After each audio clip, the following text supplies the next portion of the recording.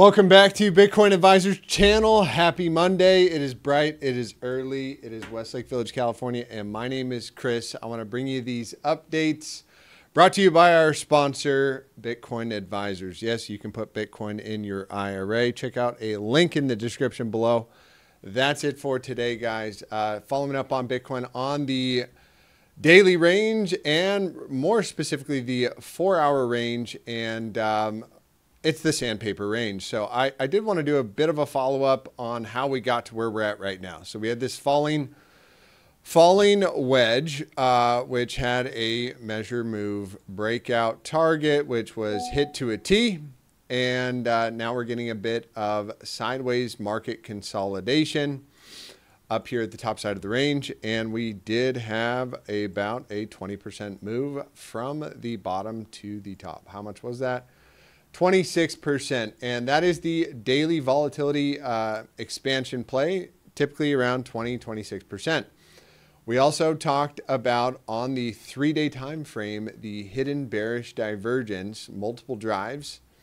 Uh, coming back from this pivot, and that is where the price is making lower highs, a slew of lower highs, while the RSI is making a slew of higher highs. Now, we will have the same thing in play here on the three day.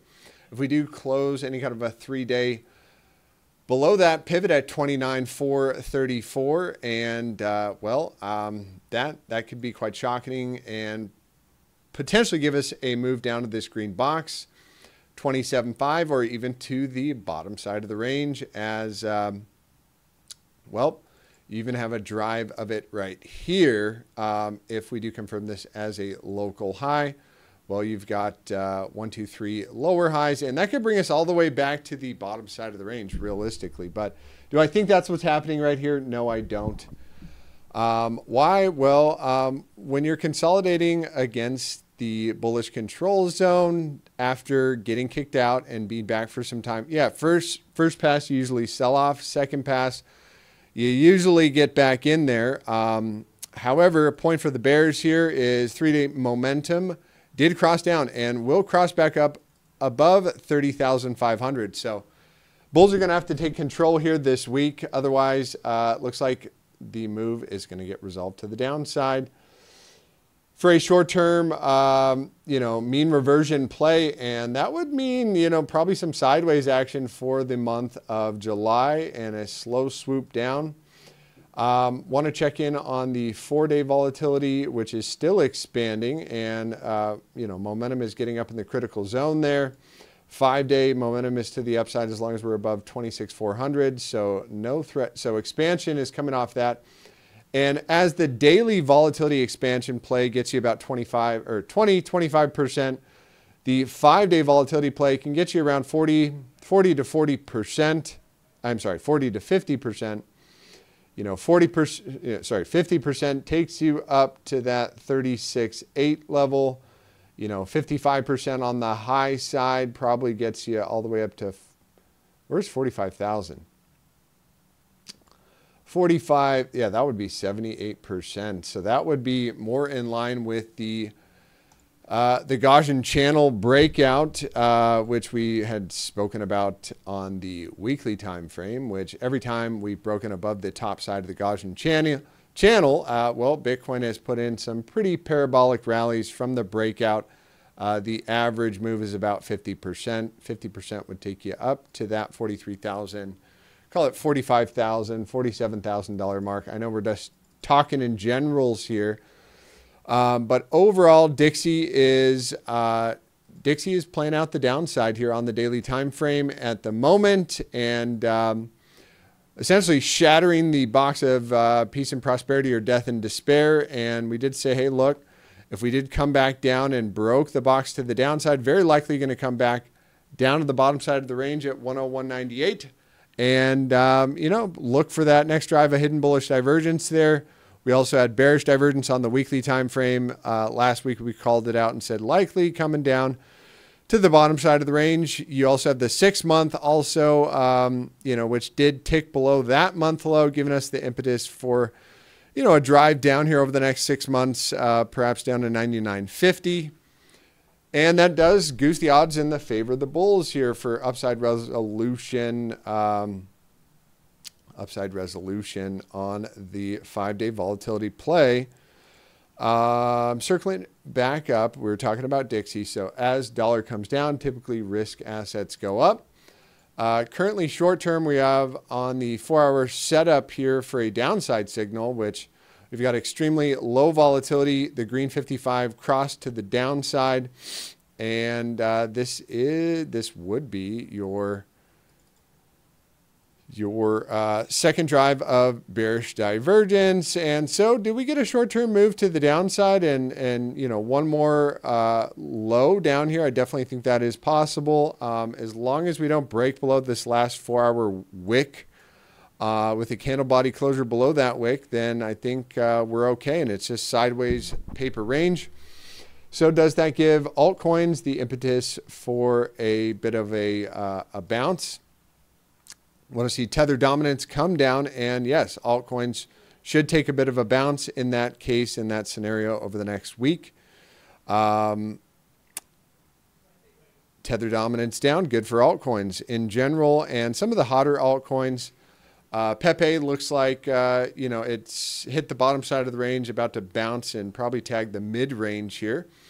So not a bad short-term play on the four hour. And there's probably going to be coupled with a few drives of hidden bullish divergence coming all the way back from uh, this little guy right here. Yes, many drives. And I would be looking for a bit more of a bounce off of this, at least at least up to that green 55, but targeting the mid-range over the next couple of days. Um, compound also getting pushed back. Does look like this one wanted to play out some more downside. Uh, perhaps back down to the green 55 on this one. Stacks also looking bouncy. Looks like it wants to take a little leg up here, not taking out this wick. As long as we're above this wick, I'd say uh, Stacks is more likely to bounce than not. And it will also have hidden bullish divergence coming back from this pivot right here multiple drives, so could be looking for, you know, potentially a bounce up there, especially if we cross back up momentum above 63 cents, which uh, looks like it's going to do that here on the next four hour closure. Low volatility. Momentum back to the upside would look good for a bit more of a bounce on stacks. And then we've got Aave and BCH. Same thing, Aave, hidden bullish divergence. Need to confirm it here on the next four hour closure by closing above that wick and should play out for a greater bounce on this one, perhaps tagging this trend line one more time, um, you know, somewhere along there if it can't break it this time on this pass. Not the best trend line, never mind there on that one, but um, that's probably a little bit more accurate if you're looking for the next major uh, resistance level for Mr. Aave. And then Bitcoin Cash nice little pennant, bull flag formation, whatever you want to call it. Want to follow up on the weekly time frame for this one. And any kind of a tick back below 247, uh, a greater move down, but this one has been just so bullish on the two week time frame. You know, big bullish candle like that, I wouldn't be sus- it wouldn't be suspect to get a leg up to 376 on that one. Monthly looking bullish. Uh, looks like it has continuation in the cards. So, but also it has, you know, ripped and roared. Uh, ultimately, I'd be looking for, you know, a pullback around the purple 200 at some point, and that to be a greater buying opportunity for BCH. Other than that, following up on some of the underlying market dynamics and the economic data coming out this week, we got. Um, Nothing important today, but uh, or tomorrow. It looks like Wednesday is going to be the big day, July 12th. Inflation's coming out, core inflation, CPI. Um, where's those high economic impact datas? Here we go. Inflation rate, CPI, inflation rate year over year, core inflation rate. Yes. So all the high economic impact data coming out on July 12th. So Maybe we get a big resolution of the range on July 12th. Um, but I would start by watching Bitcoin on the four hour, and that will bleed into the higher term time frames.